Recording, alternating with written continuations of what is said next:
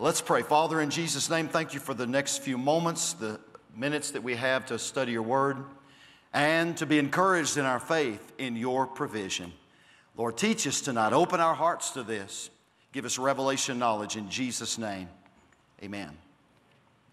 Uh, this is God's provision number 11. You say, Pastor, oh, I'm sorry. Oh, and leaders, you can be released in right now. Le- leaders, leader school. I'm sorry, I almost forgot. And y'all are eating dinner, aren't you? Okay, that doesn't mean we're invited. They're going to get their own dinner because they, they're going to graduate in the next week or so. And man, we are proud of them. Give these guys a hand clap. Training for leadership, Victory Church leadership. Now, ushers, don't let anybody sneak in there to eat. They don't have enough food for everybody, it's just for them. We, we, we, we gave them a dinner tonight because they finished that course, and uh, we're proud of them. Um, uh, we've been talking about God's provision. This is number 11. You might say, How many of these are there going to be? I, I don't know when I get finished. But it's okay. We need to build our faith in this. Remember what I taught last week? That the kind of faith you have depends upon the kind of words you've heard. And so, the kind of word that we're teaching on Wednesday night is this promise God will provide. Say that with me God will provide. And that's our master text, Genesis 22, verse 8. Abraham said, My son, God will provide. Now, I'm going to challenge your thinking a little bit tonight for perhaps some of you, or perhaps several, or many of you. I want, to, I want us to move away from the word provide and go into another area of study that still has to do with the provision of God. I want us to move on to another word that, believe it or not, is used many times in the Bible, and that is the word or some form of the word prosper. Say that with me prosper. Look over in the New Testament in the book of Third John, verse 2. There's just one chapter. The third epistle of John. It's not St. John, but you know, in the end of the Testament, 1st, 2nd, and 3rd John. Look at Third John, verse 2, one little verse here that I would like for you to look at. John said, Beloved, I wish above all things that thou mayest prosper. There's the word prosper. It's really, really in the Bible. And be in health, even as thy soul prospereth. One more time, look at it one more time. Beloved, I wish above all things that you may prosper and be in health, even as thy soul prospers. Now, now this is an inspired writing that's been included in our New Testament, so it is the Word of God. It is not just the desire of John, it is the desire of God because the Holy Spirit inspired it to be in our New Testament. And beyond that, John was Jesus' closest friend, the most beloved disciple. If anybody had the heart of Jesus, it would have been John. And you wouldn't think that the Apostle John would want something for people's life that was adverse to the will of God, would you? So, this is the Apostle John. I believe he's got the heart of God and the heart of Jesus. And he says, Beloved, by the way, speaking for God, how many people does God love? He loves everybody.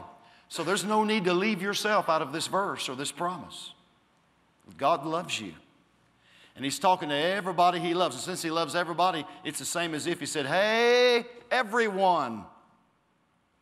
I wish, that word wish can mean pray or desire. I desire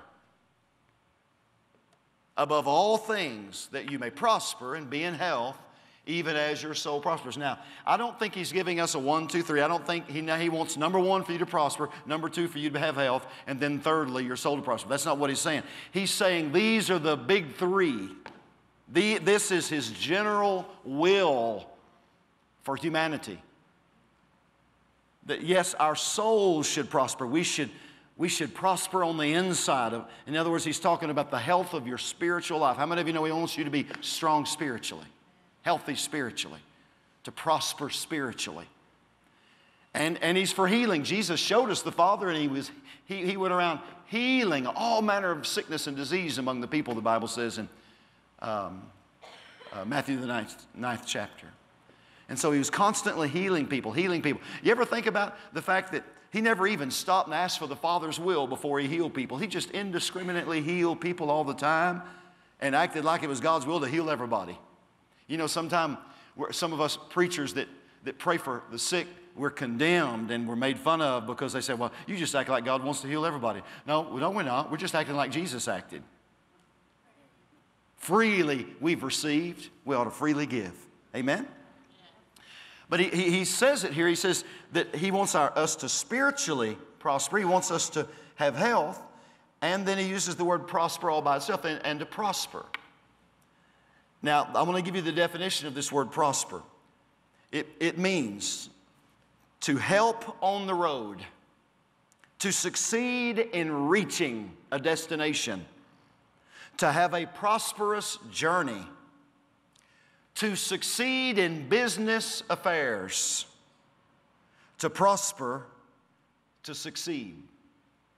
Now, I want to read that one more time because I want you to catch something. I want you to understand that this word prosper is not focused entirely on financial things. No, no, no, it's a big word. It, it, it, is not, it is not exclusively about financial matters, but on the other hand, financial matters are included in this word. Let me read the definition one more time. It means to help on the road, to succeed in reaching a destination, to have a prosperous journey, to succeed in business affairs, to prosper, and to succeed. And here's what I want to tell you tonight God provides, but He also prospers. How about we move beyond provision and delve into this prosperity thing a little bit? God not only wants to provide, He wants to prosper you. Now, when we say that and we say it like that, man, a lot of people have a knee jerk reaction because they've already been warned against the so called prosperity gospel. And I want to say right here from the outset tonight, I don't believe in the prosperity gospel. But on the other hand, I don't believe in the poverty gospel either, because that's all you'd have left.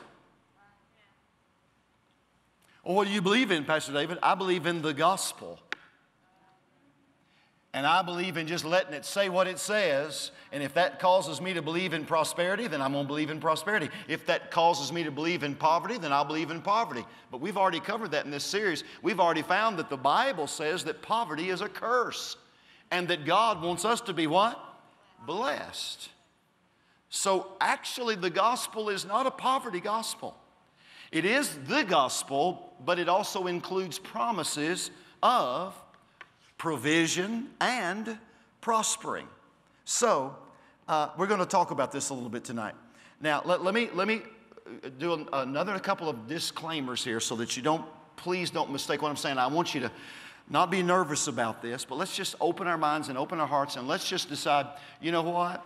We'll, if the Bible says something, we'll just believe that. I, I'm not here to manipulate your thinking or your doctrine. I'm here simply to teach the Bible but man, I believe in believing the Bible and not watering it down into nothing and not spicing it up into something stupid. Amen? Let's just let the Bible speak to us. All right? Now, here's what I want to say though financial prosperity is not any proof of spirituality. I don't believe that at all. The Bible doesn't teach that. The Bible does not teach that if you're spiritual enough, you're going to be rich. It does not mean being rich, people that are rich, that is no, no sign of no sign of spirituality because we all know people of wealth that are totally not spiritual. Okay?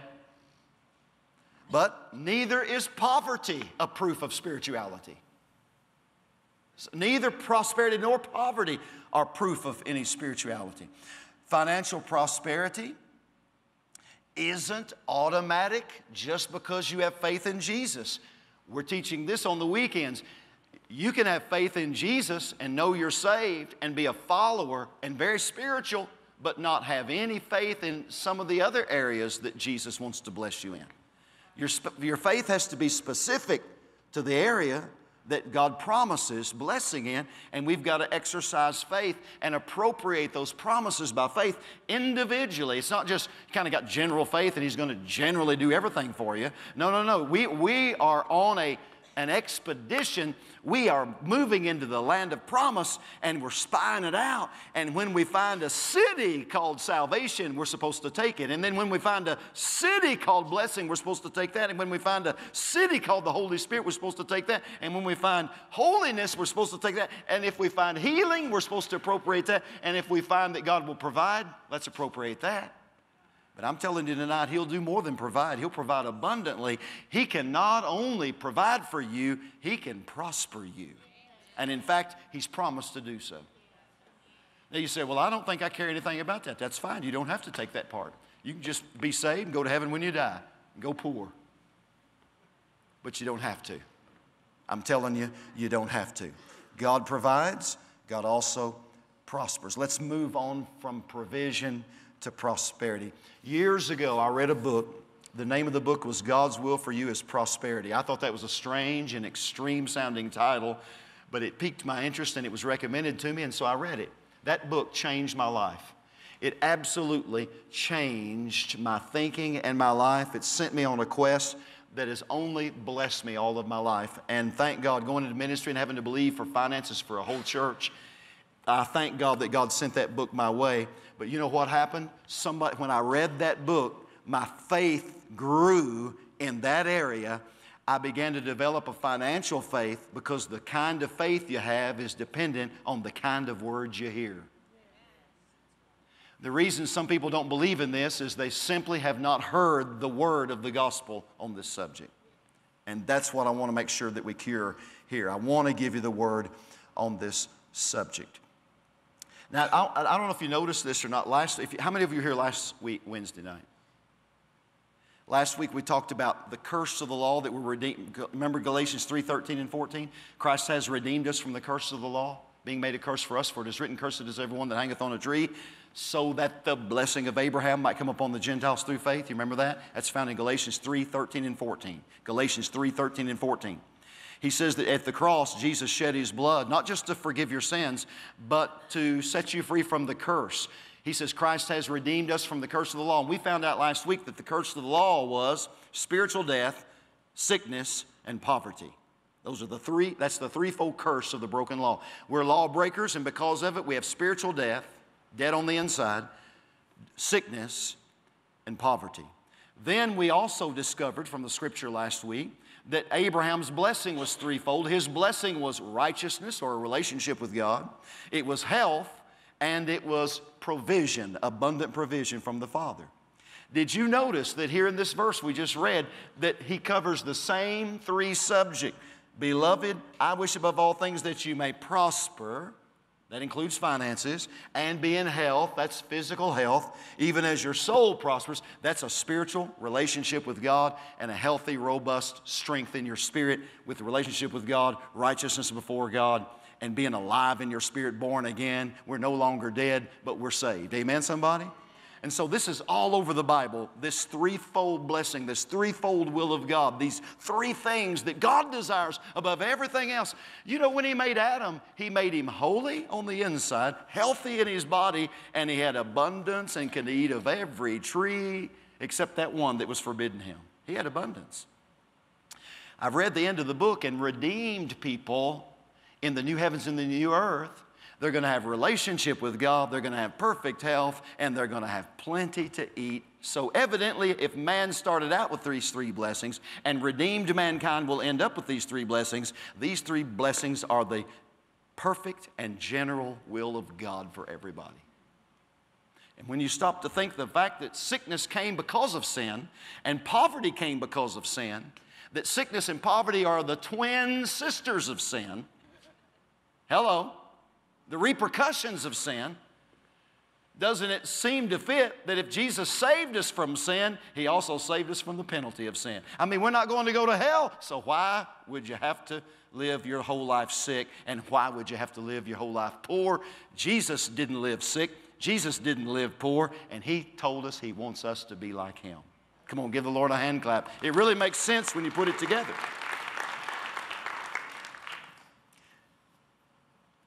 So the Bible's filled with promises of prosperity. Look real quickly now, let's go quickly. Genesis 39 2. Look at Genesis 39 2. Let's see if I can do this real quick. According to my clock back there, I have eight minutes. Now, I'm not going to make that, but I might make it in 10. So, you know, you can believe for a miracle. Who knows? It could, it could happen. So, all right, look at Genesis 39, 39, verse 2. To speed up, I may have to turn and just look at the, look at the screen. But anyway, look at 39, 2. Verse 2. And the Lord was with Joseph, and he was a prosperous man. And he was in the house of his master, the Egyptian. Now, if you read verse 1, you know what verse 1 says? It basically says that he was in the house of a man by the name of Potiphar, and he was Potiphar's slave. Why was he a slave? Because he had been sold into slavery by his brothers. You remember the story of Joseph? They, they, they sold him to some Ishmaelites, and the Ishmaelites sold him. he's a recycled slave. He's not just a slave, he's a recycled slave. He, he's sold by the Ishmaelites to Potiphar, and here he is a slave, and yet the Bible says he's a prosperous man. He's a slave, but he's a prosperous man. Now, here's what I want you to see prosperity is more than just how much money's in your pocket. Prosperity begins on the inside of you. This man was a slave, but he was prosperous. He was a slave, but he was a prosperous. He was a prosperous slave. Amen. Now, I want to here's the here's the Old Testament word for prosperous. Let me give you the definition. It means this to push forward, to break out, to be. How many of you want to break out of debt? Yeah. To be profitable, to make to prosper, to advance, to prosper, to make progress, and to bring success. So, you know what it basically says? This man, Joseph, who was a slave, was a man that got ahead. He, he, he could not be held back. He was pushing forward. He was making advancements. He was breaking out. And he might have been a slave, but he had something on the inside of him, something that God gave him, something called prosperity. It starts on the inside of you. And you remember the story that even though the, the, the, when, his, when his brothers turned against him, they put him in a pit. And then they sold him into slavery, and he, and he went to Potiphar's house and served as a slave. And then Potiphar's wife lied on him, got him arrested, and thrown in the prison. And so he went from the pit to Potiphar's house to the prison, and then because he was a prosperous man and God was using him and he had gifts on the inside of him, God raised him from the prison to the palace, and he became the vice Pharaoh of the, um, eh, the whole land and, and, and basically helped Pharaoh bring them all out of that famine. And he was rich for the rest of his days and blessed and a man of God who had a great posterity. Well, how did all that happen? Well, the key is right here in this verse. It says in verse 2 and the Lord was with Joseph. You see, being, the Lord being with you and prosperity are linked together in this verse. That's why it started on the inside of him because he had God on the inside of him. He had a relationship with God. So here's what I wanted you to see there that prosperity and God being with a person are linked together. Look in Deuteronomy 29, verse 9. Deuteronomy 29 and verse 9. You see, you see, uh, you might owe everybody in town and they came and got your car last night, but you can confess your faith and say, It's all right, I got prosperity on the inside of me and I'm gonna make, I'm gonna get ahead. Amen? I'm going to break out. It's going to, it's to be all right. Uh, Deuteronomy 29, verse 9. 29 and verse 9. Keep therefore the words of this covenant and do them that you may prosper in all that you do. Here, prosperity is linked to obeying God. Just everybody say obeying God. You know, obeying God is kind of fallen out of fashion in the, the world we're living in now, but the Bible still teaches you and I are supposed to be obedient to God.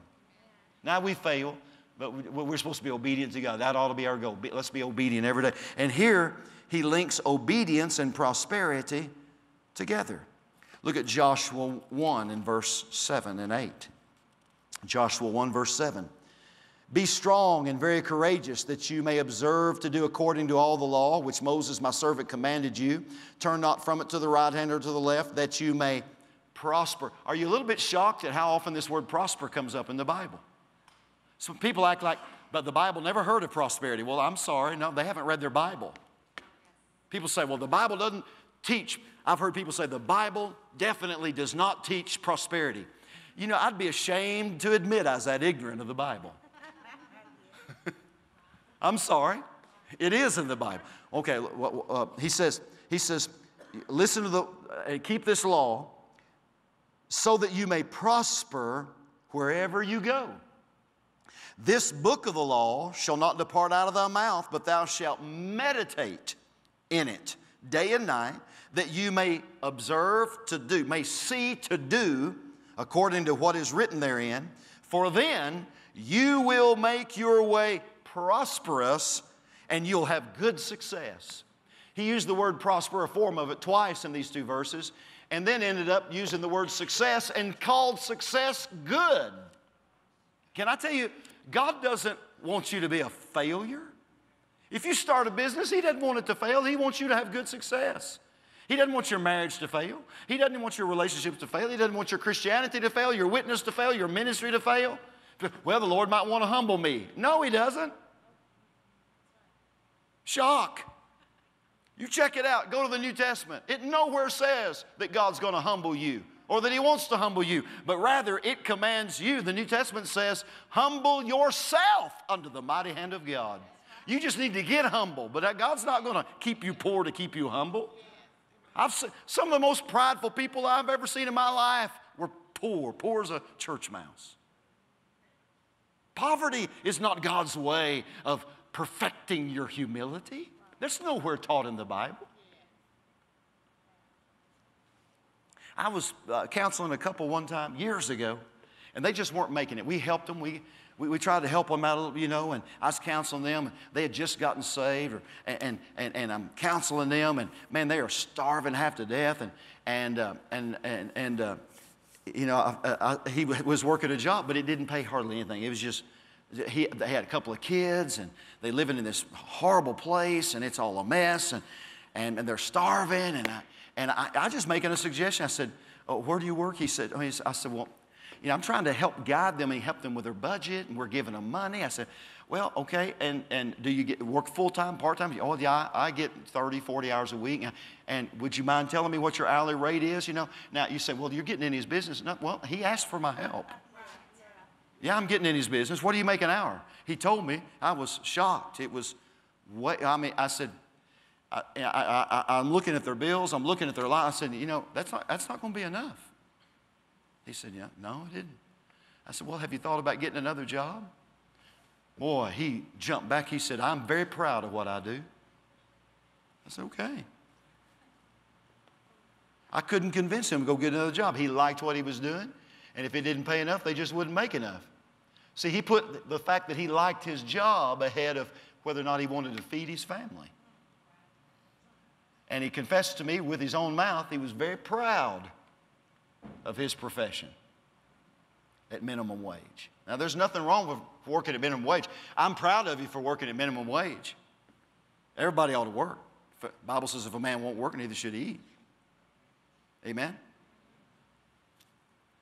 But sometimes you have to get another job, have two jobs. Sometimes you got to get up early and stay out late. You got to do what you got to do. I noticed in the book of Genesis that God made six days for working and just one day for resting.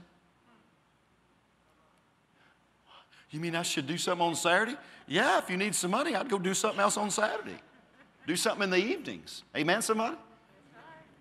I tell you what, we, we're, we're living in a generation where people want everything to be handed to. Can I tell you, God's not going to just hand it to you. You know what He says, though? If you'll follow His principles, you will make your way prosperous and you will have good success. Amen? Oh, man, I wish I had time to preach this right. But anyway, um, uh, for here, he's talking about meditating in the Word, meditating in the Word, so that you can see what to do. When you see, when you're meditating the Word and you meditate in the Word, and then you see, you see a spiritual thing. You get the revelation. Really, he's talking about the fact that revelation knowledge from the Word of God is going to make you prosperous.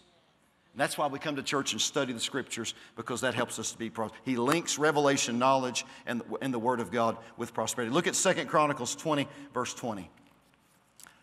Second Chronicles 20, verse 20.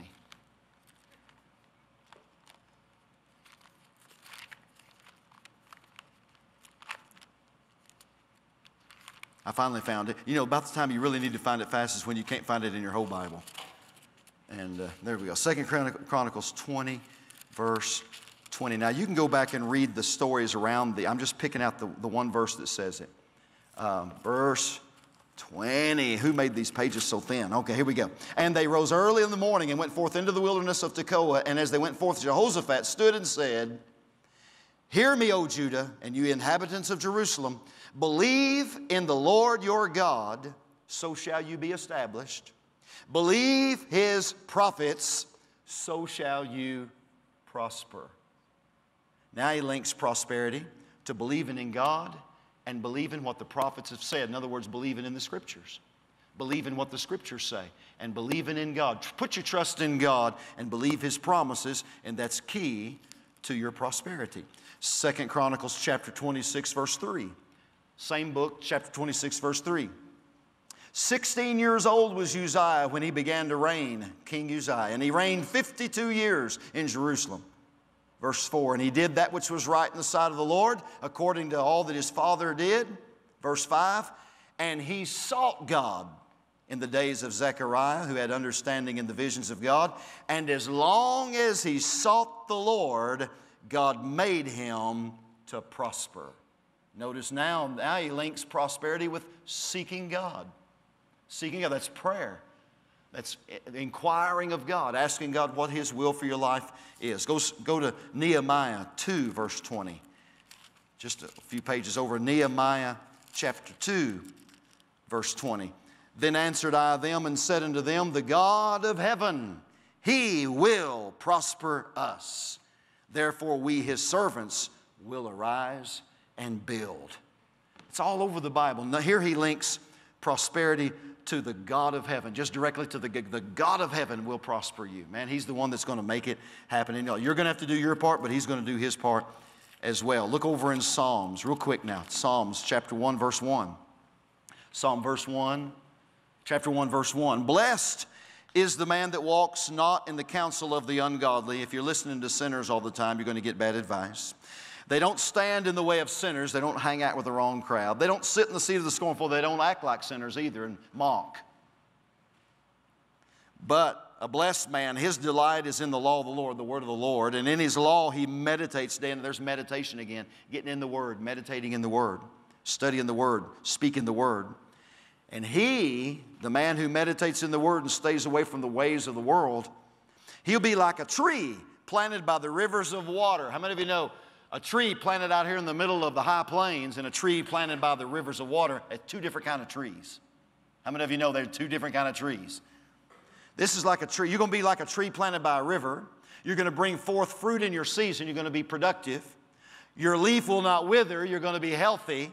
And whatever he does shall prosper.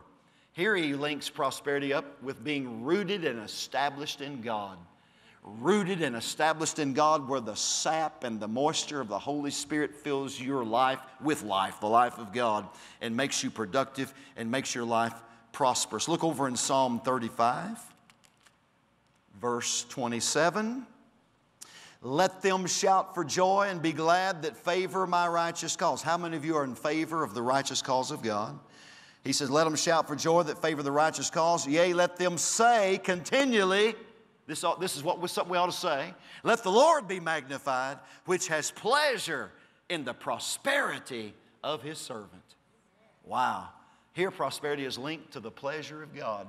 I like to think of it like this. He said, Here, God is pleased when I prosper. Over in the book of Revelation, it says, I'm created for his pleasure. Evidently, I was created for prosperity and not for poverty. He likes it when I prosper, he likes it when you prosper. Look over now in uh, just two more Psalm 118. Psalm 118, verse 25. This is a prayer the psalmist prayed. Save now, I beseech thee, O Lord. O Lord, I beseech thee, send now prosperity. It's a scriptural prayer. It's as scriptural as salvation. You find them both in the same verse.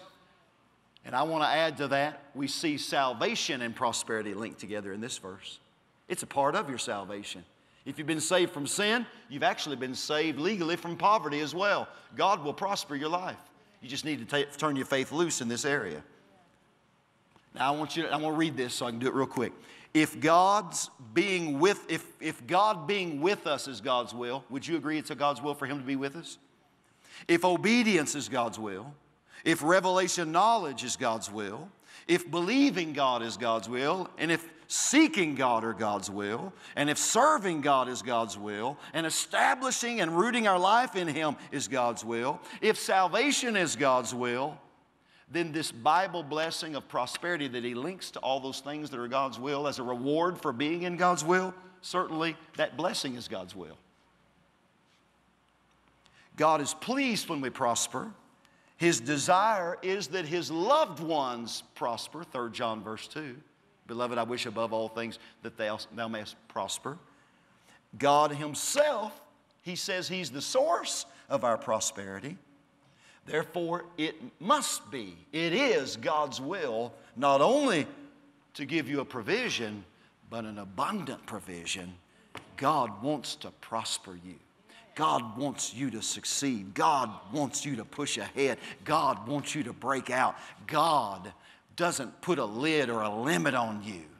I tell you, when God figures out you're not going to be a reservoir, but a river, my, my, my, what could He put in your hands? If He finds out you won't consume it all on your own lust, but you'll be a giver, you'll be a blesser, you'll feed the hungry and bless the poor and help the missionaries and help the house of God and help your charity and give to your family and help your neighbor, what could God do if He figures out this person's a river, not a reservoir? They're not going to soak it up for themselves. They're going to disperse it in a place, in a world that has needs.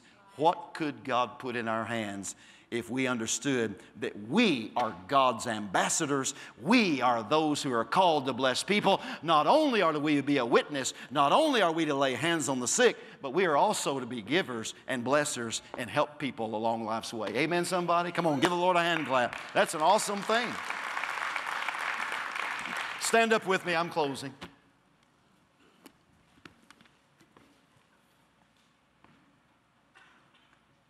In Victory 35, three or four weeks ago, Pastor Don Kaywood prophesied to me in this church in the 11 o'clock service. I don't know who, many of you were there. You know what he said? It was a word from the Lord.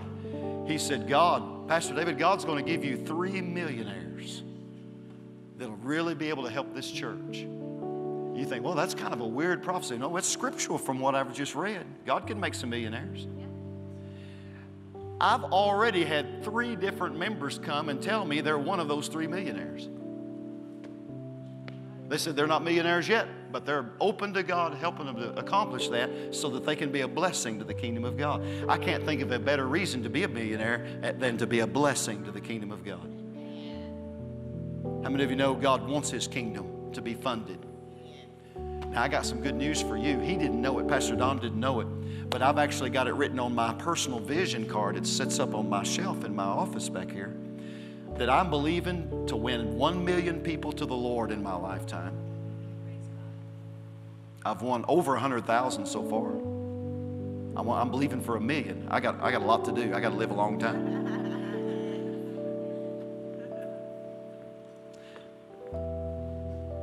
Another thing that I won't go into the whole thing, I got several things, but another thing I'm believing for, I'm believing for one, for God to make 100 millionaires under my teaching ministry.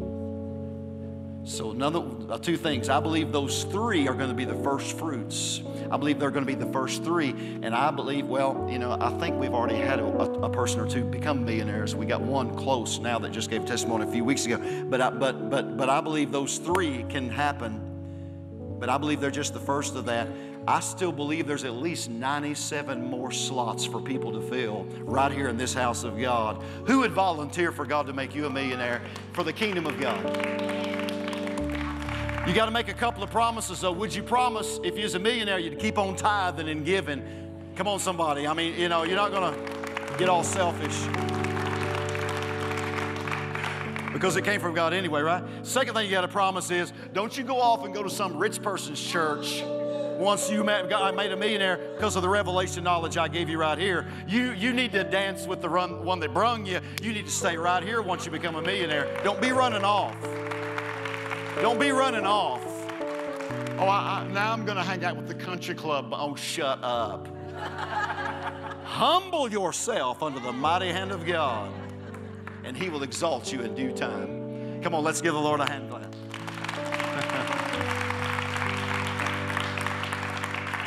now, did I teach the Bible tonight? Does the Bible talk about prosperity? I didn't say you're supposed to have 98 Cadillacs. I'm, I'm talking about we, want to give ourselves to God and accomplish something for the kingdom of God. Amen, somebody? But, but we're not going to feel guilty if we got a nice house either. Because we're saved. Excuse me, we're the children of God. I mean, if God wants to bless us, who are we to turn it down? Amen. I don't know if you heard about heaven, but it's a real nice place. No guilt attached. Father, I pray for people tonight. Make millionaires out of people, Lord, in this place. Not that we would consume upon our own lust, not to be prideful, not, not so, just so we can have a bunch of stuff, but Lord, so that we can be rivers, not reservoirs, so that we can be givers, so that we can be blessers, so that we can make a difference in the world, so that we can reach our city, so that people will hear that God, you love them, that Jesus came to give them victory, and that your greatness can be poured into their lives. Lord, make us people of purpose and by, be, be, by being people of purpose, make us people of prosperity and abundant provision. We believe you for it. In Jesus' name, amen and amen. Give the Lord another good hand clap. God bless you.